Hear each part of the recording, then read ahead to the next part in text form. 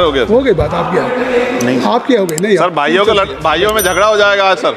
नहीं कोई झगड़ा श्री चंद्रशेखर जी हो गई बात आ गई। आपकी सब बात आ गई। श्री चंद्रशेखर जी आप माने दादा बैठ जाओ चलो। धन्यवाद। मैं माननीय सभापति जी आपका धन्यवाद करता हूँ कि आपने मुझे मेरी बात रखने का मौका दिया। मान्यवर जिस क्षेत्र से मैं आता हूँ नगीना से वहाँ मेरी मांग है कि नेटोर में एम्स हॉस्पिटल बनवाया जाए, क्योंकि वहाँ पर एक भी हायर सेंटर नहीं है।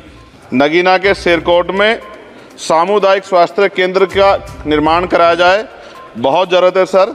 नगीना के ग्राम चक सहजानी में अस्पताल है, ईसीजी मशीन मशीन है, ऑक्सीजन है, लेकिन चलाने वाला स्टाफ नहीं है, डॉक्टर अवेलेबल कराए जाएँ, सर। नगीना के धामपुर में स्वास्थ्य केंद्र बना था सामुदायिक स्वास्थ्य केंद्र 2018 में, लेकिन डॉक्टर ही नहीं है, सर। तो डॉक्टर नहीं होंगे तो लोगों की जान जाती है। इसलिए आपसे मांग है कि ये इसको पूरा किया जाए। नगीना के जलालाबाद कस्बे में सरकारी अस्पताल की ज़रूरत है।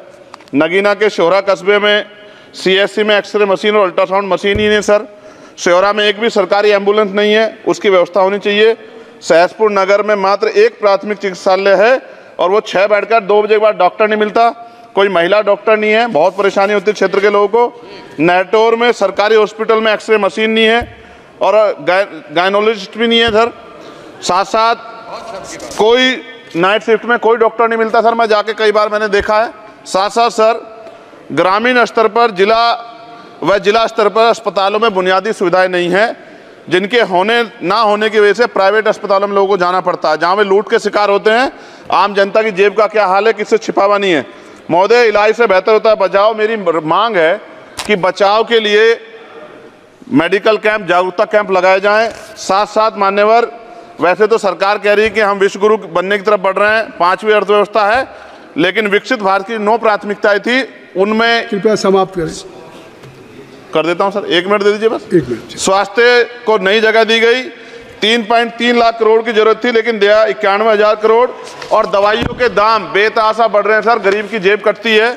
मान्यवर ज़्यादातर सरकारी अस्पताल में डॉक्टर नहीं है तो इनकी इनकी डॉक्टरों की मांग पूरी कर दिया साथ साथ जो जनता के पैसे से मान्यवर ये बहुत इंपॉर्टेंट है, जो सुख सुविधा ले रहे चाहे वो अभिनेता हो, नेता हो, न्यायाधीश हो, सुरक्षा प्रताप, कोई भी व्यवसायी हो आईएएस हो आईपीएस हो, सरकारी वकील हो क्लास में अधिकारी हो कोई भी अधिकारी हो, उनके बच्चों का इलाज और उनका इलाज जब तक सरकारी अस्पतालों में नहीं होगा, सुविधा नहीं आएगी, सर। और मेरी आपसे मांग है, सर, एक मिनट, सर, खत्म कर रहा हूँ। हम लोग लेटर लिखते हैं, सर। अपने क्षेत्र के सदस्य उनके लिए मरीजों के लिए। अगर एम्स जैसे हॉस्पिटल में सुनवाई नहीं होगी सर क्या फ़ायदा होगा उस लेटर का? इसलिए मेरी आप आपसे मांग है आज हालात देखिए सर अगर कोई महामारी आ जाए पहले तो मैं कुदरत से प्रार्थना करूँगा ना आए। अगर आ जाए सर क्या निपटने की तैयारी है? धन्यवाद। ऑक्सीजन नहीं है सर कोरोना काल में हम देखा। मैं धन्यवाद करूँगा सर आपका। और मुझे विश्वास है कि आपकी मांग आपके ज़रिए माननीय मंत्री जी से हमारी मांग जो है रखी जाएगी वो ध्यान देंगी। जय भीम जय भारत धन्यवाद।